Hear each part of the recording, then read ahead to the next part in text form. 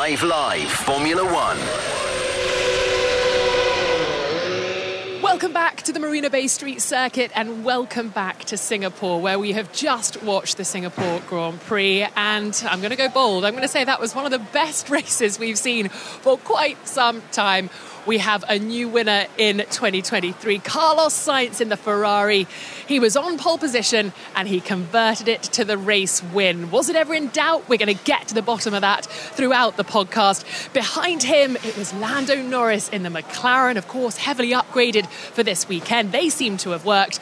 And behind Lando, fellow British driver Lewis Hamilton in the Mercedes. After a difficult start to the weekend, he managed to stand on the podium. It has been a while since we've seen him there.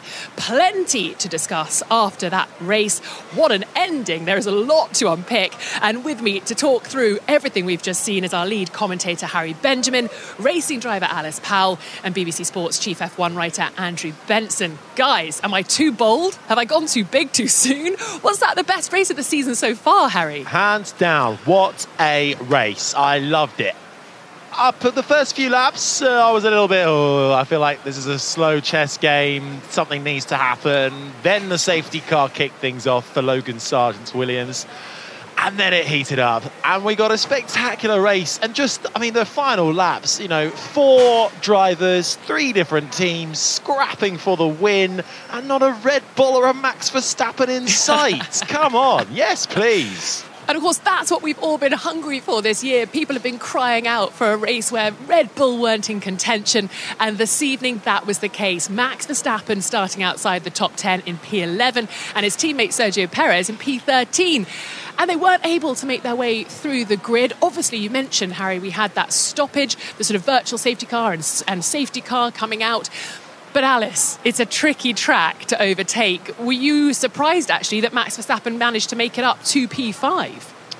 No, because it's Max Verstappen and it's Red Bull Racing as well. They they weren't looking too bad race pace wise. Okay, they they struggled and Max described it as like driving on ice at points through that race on the, on the hard tyre. But uh, he was on much fresher tyres coming through the pack, so I knew he was probably going to get into the top six. Fifth, he just scraped in. So, but a good job from Max.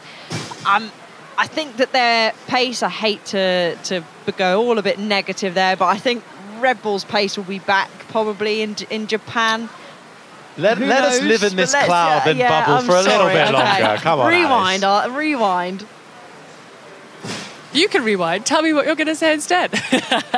the Red Bull are slow for the rest of the season. No, uh, they they will be back. But uh, but Carlos Sainz, he he is the man of the moment because he did such a, a great job.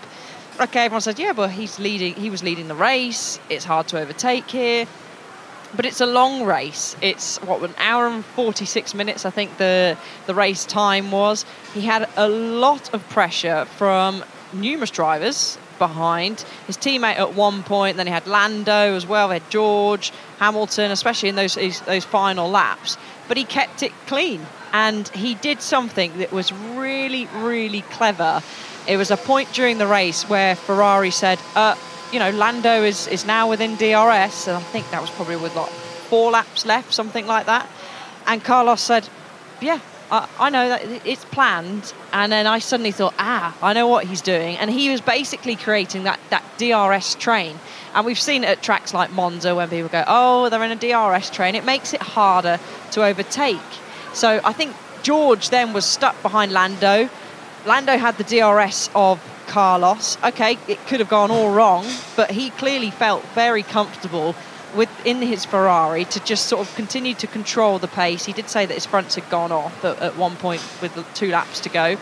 But he was very clever in doing that because I think essentially you could say that that sort of won him the race because those Mercedes streamed up to the back of them. But once that DRS train was created, it was hard for them to pass.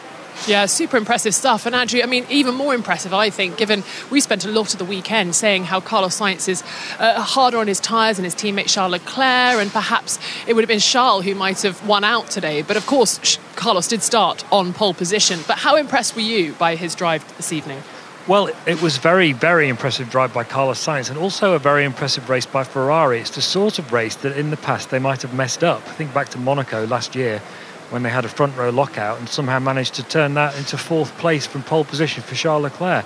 Um, they went into the race with a very clear plan. Leclerc was to be sacrificed to help Sainz win the race. That's what was all, all those radio message were, messages were about in the first part of the race about building a gap.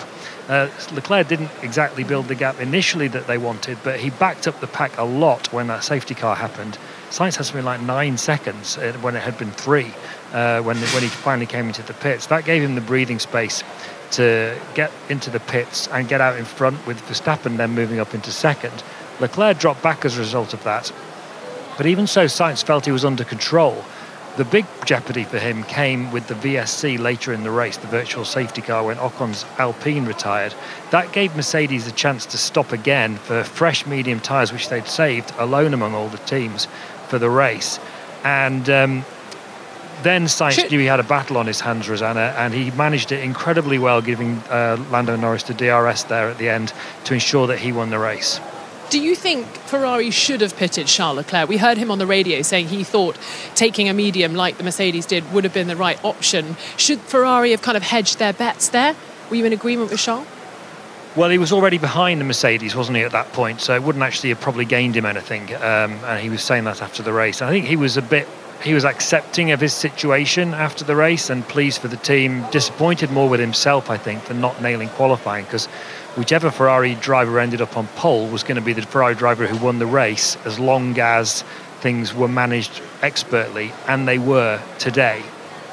I'm They fascinated. Sorry, Rosanna. I'm fascinated by this Ferrari dynamic now because it all came undone for Leclerc in qualifying, and undone is less than a tenth of a second off of pole position, which his teammate managed to pull out of the bag. And back-to-back poles for, for Carlos Sainz, who seems to have found another gear maybe since uh, the summer break. And I think we, we've had this discussion time and time again. Ferrari is Charles Leclerc's team. He's the Ferrari golden boy. They brought him in up through the junior ranks, but Sainz is is giving them a headache in a very good way. And I don't know. I feel like we've got a new Carlos Sainz with us now, off the back of two very impressive races. Make that three impressive races actually in Zandvoort, where he was the better of the of the Ferraris once again. He is incredibly. He was already incredibly consistent, and he's he thinks like an engineer. He's smart. That DRS trick at the end, the managing of the pace, the uh, at times across the year we've seen him go against what his engineer has told him to, where Charles Leclerc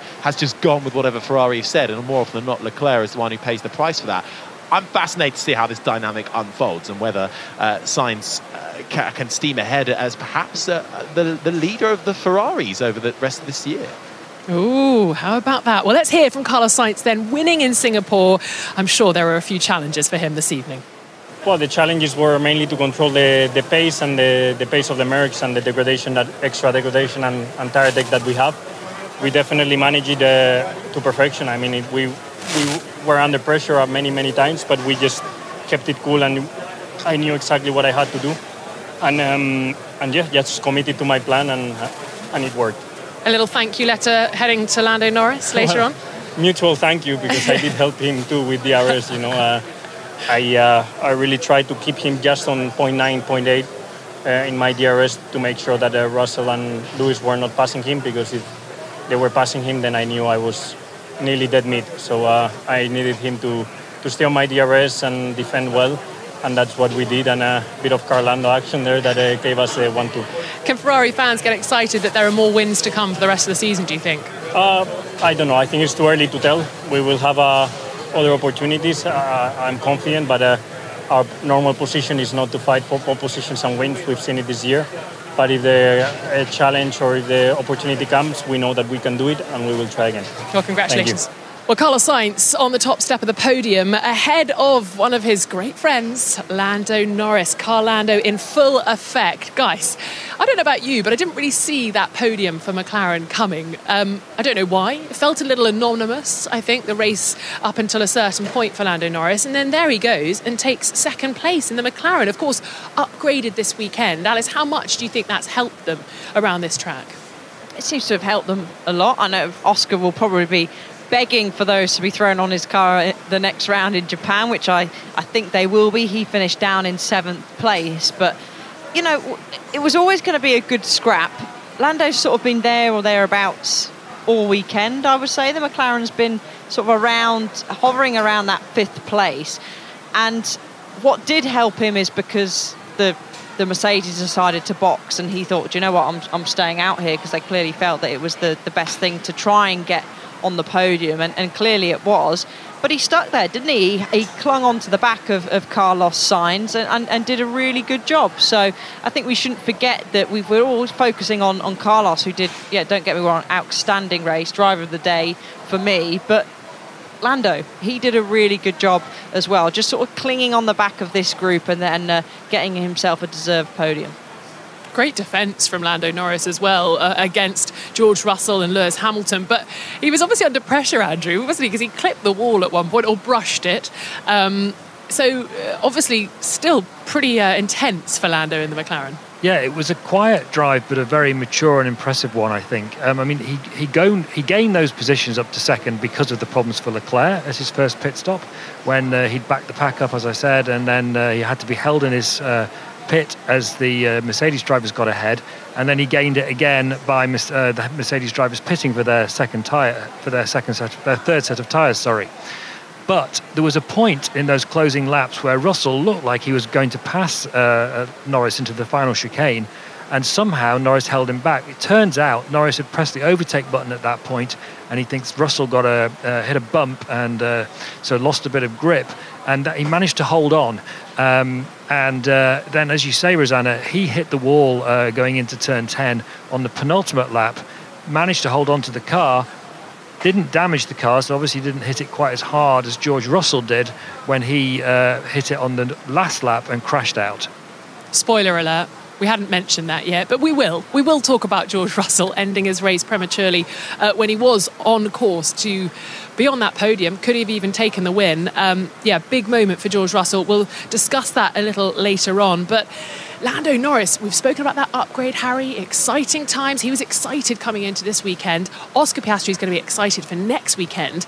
Are we going to see double podiums then for McLaren in the next sort of few races? Oh, well, um, probably not. I mean, I think a lot, the last time McLaren introduced upgrades of this of this sort, Lando got them first in Austria. Oscar got them again at the following race uh, at Silverstone, and immediately uh, Norris, what was uh, was front row start, wasn't he? He uh, led the race for a brief period and got on the podium uh, in Silverstone and followed that up with another uh, win in Hungary as well after the upgrades were introduced. So I think uh, what they brought, which is pretty much a bit of everything to that new car, front wing, side pod, floor, you name it, uh, will continues to underline the impressive rate of McLaren's um, development. Think back yeah. to Bahrain what a disaster that was. They were the, one of the slowest teams, and to now be finishing, uh, you know, second on the podium and, be fighting uh, and making their way. They've got a bit of a gap to bridge to, to, Aston Martin for fourth in the constructors, but it's not it's not out of the question. Um, and Piastri will get the upgrades, and he, want, he you know he was actually he was a beneficiary in this race of those that retired around him and perhaps of the Red Bull's lack of pace because he sort of was out of the points from the majority of the race and then managed to get seventh at the end. So it was a good job for him to hold on. But seventh with a, a non upgraded McLaren and second with an upgraded McLaren, well, that bodes well going forward. But I do fear, as we discussed, that once we go to Japan, we kind of return to normal service resumes. And uh, it's going to be oh, tough. Harry. Oh, come on. No, no, no. we, ha- we, we, ha- we held the hope for the first five minutes, but now we can get back to reality. Um, but I, I, I, don't think two podiums for, for, for McLaren are going to happen in Japan. Well, of course, this upward trajectory in performance has been masterminded and overseen by Andreas Stella, their new team principal. I managed to grab him as he jumped off the pit wall and headed to join in the celebrations in Parc Fermé and around the podium. This is what he had to say to me. It was uh, quite tense, you know, and uh, a couple of events during the race uh, gave us an opportunity to end up um, on the podium. Uh, close call at the virtual safety car, staying out, pitting. Mercedes, for Mercedes, it was easy because they had another set of medium, so I think for them was a straightforward call. Uh, you know, it worked, but it could have not worked. And uh, good collaboration between uh, Lando and Carlos also. You know, with Carlos uh, uh, making sure that Lando had the DRS, so to keep the two Mercedes behind. great work by everyone trackside, but let me take the chance to thank everyone at the factory, the whole team that uh, made these upgrades possible, and it's thanks to that that today we are going to celebrate the podium. Lando said he had a little bit of a touch with the wall. Was that a, a scary moment for you guys on the pit wall? It was scary. Plus, we were seeing him in the straight uh, weaving a bit. Uh, hopefully, it was just to check that everything was okay. Uh, so yeah, it added to the tension, but it's yeah, ultimately it was all right. So we are enjoying this good result. And of course, this upgrade obviously bringing you a podium. Oscar gets it next weekend, so things are looking even better for McLaren at the moment. You know, on the paper, Suzuka should be a track that uh, should suit our car better. Uh, but this Formula One seems to be quite unpredictable, so uh, we will discover in a few days, but we look forward to it. So that was McLaren team boss Andrea Stella. Now let's hear from his star driver of the day, Lando Norris, coming home P2. Just a great race, yeah. Of course, I'm happy. Uh, P2. Um, yeah, amazing. Like I didn't. It wasn't going to be possible to finish P2 just on pace because it's too difficult to overtake. But uh, we finished P2 with a perfect pit stop. We got of Leclerc, so that was kind of the first one ticked off. And um, the second bit was uh, as soon as George boxed him ahead of me to try and keep him behind at the end, and stressful, um, difficult few laps, but uh, yeah, it all paid off. So uh, deserved race and deserved result for, for the whole team. And is it circuit specific? Is it upgrade related? What can we mean, expect? We've been quick since we brought the last upgrade to the car. Um, this has just helped us take another little step, so uh, a bit of both. So let's now then, seeing as we've covered off P1 and P2, let's cover off the rest of the podium, and that was Sir Lewis Hamilton. But it wasn't looking that way, was it, guys, with a few laps to go? George Russell chasing down Lando Norris. But then suddenly the cameras all sort of swiveled and we saw George Russell in the wall. Uh, not what we were expecting. You don't really expect that. I mean, maybe you expect it from a rookie, but not from George Russell in the Mercedes, where he's been feeling so confident all weekend. Getting rid of a podium in the last of the 11th hour, and it was Lewis Hamilton who benefited.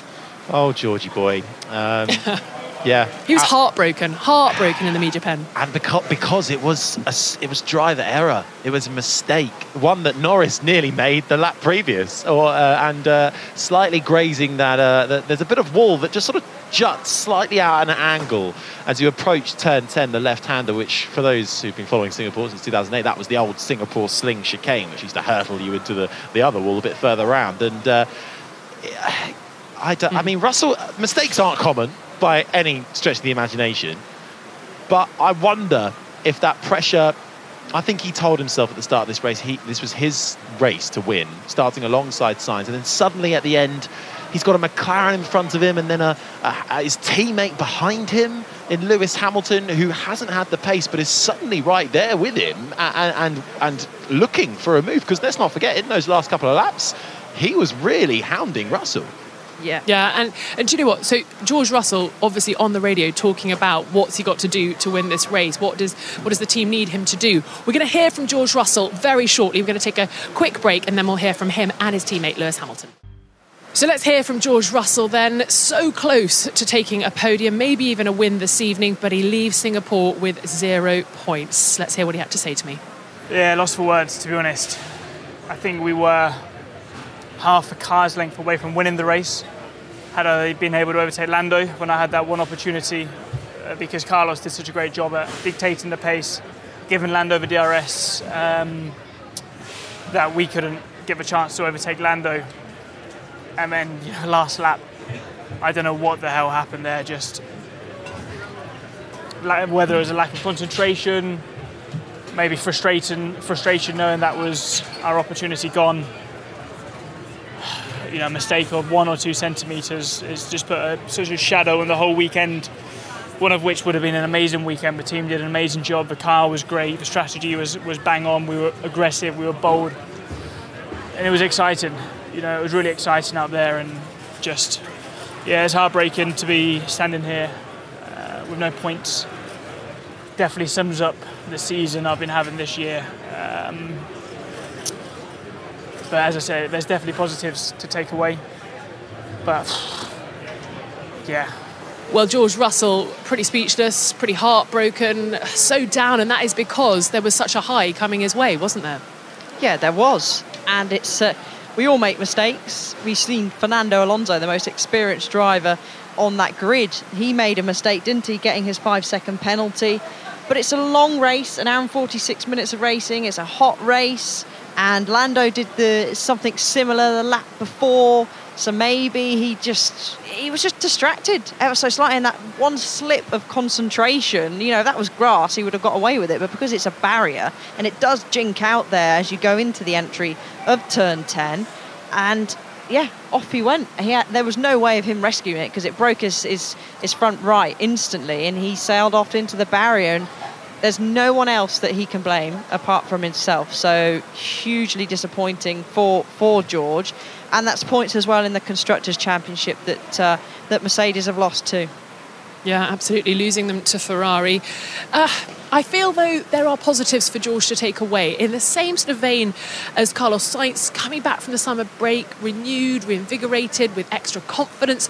I feel like George, with this little hiccup, I think he's on the up, isn't he? He is, yeah. He's it, but between him and Lewis, it's been seven-seven. Okay, it was eight-seven now to to George in, in terms of qualifying but he has sort of had the legs the past couple of qualifying sessions over Lewis Hamilton.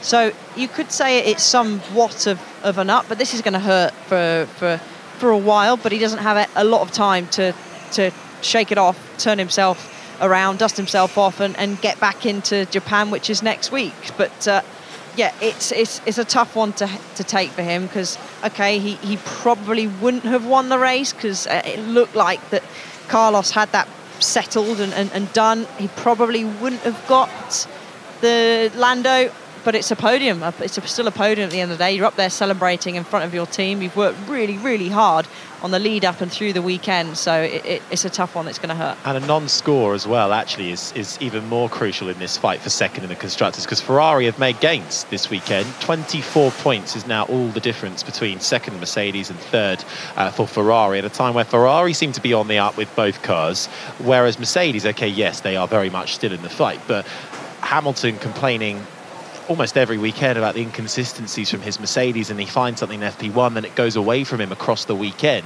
It obviously started to come back to him a little bit more in the race, but clearly it's still an inconsistent car for Lewis Hamilton at least. Uh, this battle for second uh, is going to be really tasty.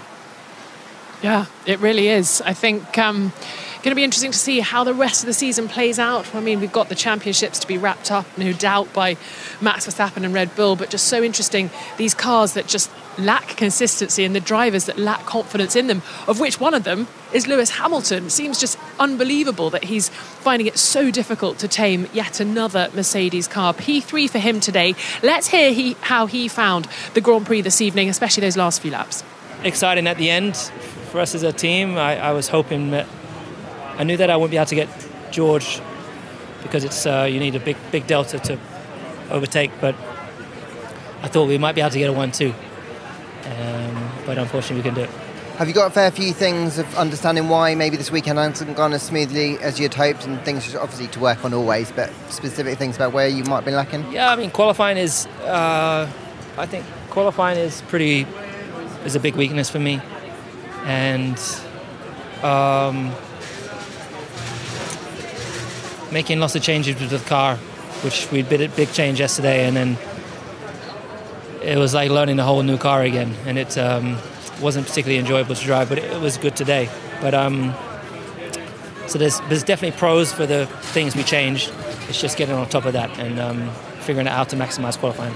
Once I get my qualifying sorted, then maybe will be good. So let's bounce through the order then. Behind Lewis Hamilton, it was Charles Leclerc in the second Ferrari, P4 for him ahead of Max Verstappen, who did a good job to wrestle that Red Bull up to P5, starting P11 this evening. But could we have expected more? I mean, he does remarkable things with this RB19, doesn't he? Could he have gone even further, do you think? Well, I don't think the race worked out as well as it could have done for him, Rosanna, because of just the timing of the safety cars. So their their plan at Red Bull was to run as long as they could on that hard tyre. Um, Sainz was already making that hard for them by managing his tyres as much as possible. Um, but then when that safety car came out, that sort of locked Red Bull into having to not stop. Um, and then he was on old tyres and everyone could pass him. Um, and then the VSC as well at the end didn't help them. Um, I think the bigger question is why Red Bull weren't competitive this weekend, and there's still a bit of a mystery. It's you know it's pretty clear that um, Uh, they, they expected a tricky weekend uh, coming into Singapore, but they didn't expect it to be this tricky. And they've admitted, both Christian Horner, the team principal, and Paul Monaghan, the chief engineer, that they've made mistakes with the setup this weekend. It seems they did that chasing um, more performance than maybe the car could have given. And if they'd maybe settled with a slightly different setup, uh, they might have done a bit better in qualifying. So they ran the car too low, basically, in qualifying, and uh, that's what scuppered them maybe he qualif- could have qualified higher up. Up and down the pit lane, there are people asking questions as to why it was quite so bad for Red Bull. And of course, they're pointing their fingers at a new technical directive that came out oh, ahead of yes. this weekend, which was to do with flexible bodywork. Now, flexible bodywork is something that Red Bull have excelled at for, well, as long as I can remember, the last 15 years or so. Um, and people are uh, wondering, has that had an effect? Now, of course, Horner says it hasn't. Um, he we, might say that, mightn't he? exactly. But, you know, we won't know really until we see the pattern of the next few races. Sing, uh, sorry, Suzuka uh, next weekend won't pose the same challenges to Red Bull as Singapore. It's got long corners, high speed. It'll play to Red Bull's strengths. So we might not even see it there. I would expect Red Bull to, to um, shoot back to the front of the field. But over the next few races as they play out, um, let's just keep an eye on that and see whether it looks like Red Bull's disadvantage. Uh, sorry, see and look at see whether um, Red Bull's advantage has reduced a little bit. Mm, time to keep a watchful eye on things. Well, let's hear how Max Verstappen reflected on his race this evening in Singapore. I think we were a bit unlucky with the safety cars two times. Otherwise, I think we could have done more because uh, the pace on, on the medium was actually quite good.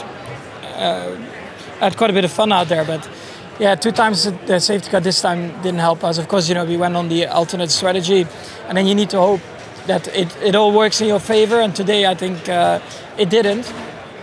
But yeah, that uh, that happens sometimes. I think overall the car was a little bit better in, in the race again, uh, which I guess is uh, the most important.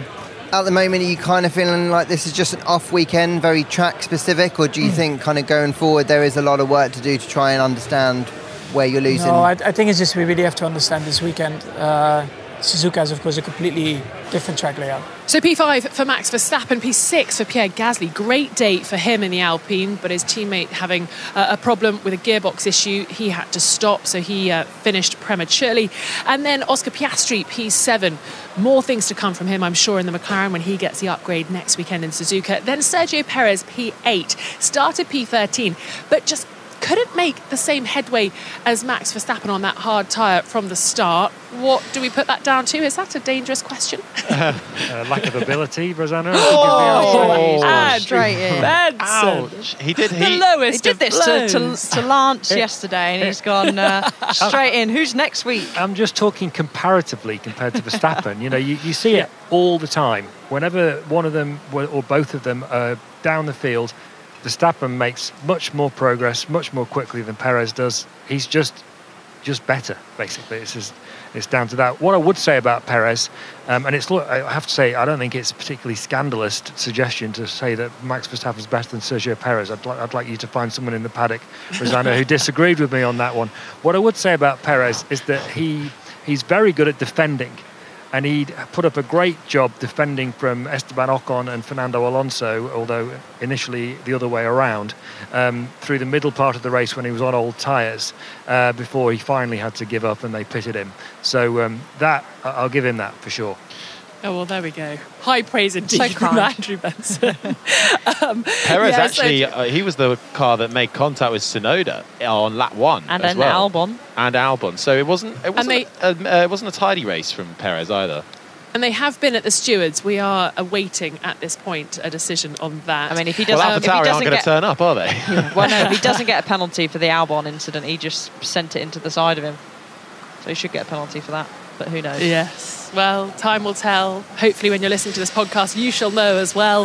Uh, so, P8 for Sergio Perez. Uh, just a note on that, actually. I think it kind of went unnoticed that Perez had that little spin in qualifying yesterday because the Red Bull in general was not performing. So, another little mistake from Checo. So, it wasn't even a perfect weekend in terms of his own performance, let alone the cars. Uh, behind him, though, da da da da, Liam Lawson, P9, taking his first points in Formula One. And let me tell you guys, it's still so hard on themselves, these Formula One drivers. In the media pen, Liam was saying, I've just got to work on my starts. You know, if I've got another opportunity, I really need to focus on my, my starts, sort them out. And I thought, mate, enjoy this moment. You've just scored points in an Alpha Tauri in your third race in Formula One. But they're so, they just love to nitpick, don't they? He did get a bad start, uh, but in, in, in his uh, in his defence, he did.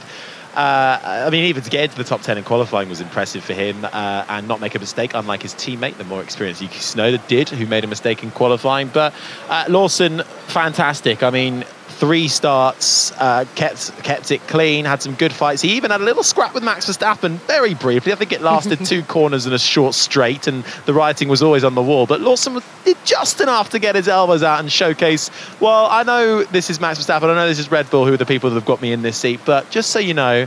I can race against Verstappen as well, but I'll, I'll let him through. And in the end, he's rewarded with a couple of points for it. Um, not, not I don't want to see Daniel Ricciardo back, but I would like to see Lawson get another run out as well off the back of this. I, I think he, he has earned that. Um, becomes the 350th driver to score points in Formula One. Well, congratulations, Liam Check you with Lawson. the stats. yeah, exactly. More of those, please, Harry Benjamin. Um, then P10, Kevin Magnussen, obviously benefiting from the fact that George Russell uh, crashed out, so he got the last point available. Just outside the points, Alex Albon, P11 for him. P12, Zhou Guan Yu, Nico Hulkenberg behind him in the Haas, Logan Sargeant making a mistake that was pretty costly, as they always are around this place, uh, and brought out that first safety car, or the safety car.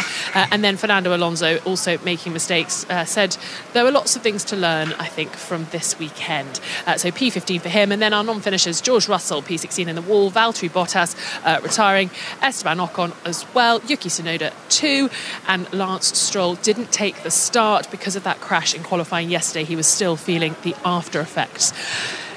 So there we have it. Singapore Grand Prix complete. First race of the double header over this way, uh, and we're heading to Suzuka next weekend. They come thick and fast now. So totally different circuit yet again. I seem to say this a lot each weekend. We've gone from Monza to Singapore. Now we're moving to Suzuka. A great track, but um, who's going to go well there? Well, actually, before that, let's do driver of the day. It was a muddled up moment, wasn't it? But do we reckon it's Carlos Sainz? Are we unanimous? Yeah, I, I think so. He did a great job leading from the front. He withstand, withstood, sorry, a lot of pressure, and he kept it there. And he and that bit of genius, uh, you could say, yeah, engineering strategy. I would say was a bit of both. At the end with the, the DRS there was was great. Yeah, the DRS uh, wins it for sure. I mean, I think he, he would have got driver of the day anyway, but uh, I think Mercedes think that they would have won the race had Sainz not done that with Lando Norris, because uh, Norris would have been more vulnerable to Russell and Hamilton, and that would have then made Sainz vulnerable to Russell and Hamilton.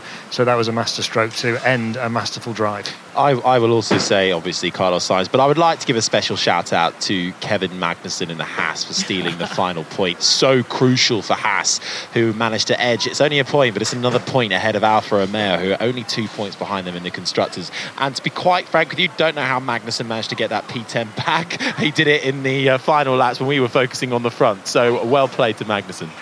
Yeah, super satisfying for Kev. Right, so we do move to Suzuka. There we go. We can look ahead to Japan, a racetrack that uh, I think it excites a lot of people. Uh, it's an amazing place to visit. What are you guys looking forward to most? Uh, producer Paddy showing us around Suzuka and Tokyo, and that's what I'm looking, most be- looking forward to. and the, the, tour around there. Suzuka might be fairly fairly short, but the rest of Japan, I'm sure we'll find a lot of time to, to take in uh, a bit of the sights and sounds. But it's a great racetrack, isn't it? That figure of eight, some real kind of iconic names, 130R, the S's. I'm, I'm loving all of that. It's one of the highlights of the season, Rosanna. Uh, I'm really looking forward to it. Yeah, although I don't think um, there's that much hope of another non-Red Bull victor there, unfortunately. For people who want um, uh, close competition, uh, I would expect Red Bull to be back to their sort of dominant ways. Um, just to be clear about this, you know, we're not. No one's anti-Red Bull. It's just everyone wants a fight, and this season was developing into not very much of a fight at all, wasn't it? With uh, ten consecutive uh, victories for Max Verstappen. Yeah, we need to drink this one in, savour the moment, savour Singapore. Uh, it's been a great weekend from start to finish. This has been an IMG production for BBC Radio 5 Live. My thanks to Andrew Benson, Alice Powell, Harry Benjamin for talking us through the race. And uh, I've been Rosanna Tennant, a little hot and sweaty down in the pit lane and paddock, but it's been great talking to you over the course of the weekend. We'll be back for the Japanese Grand Prix.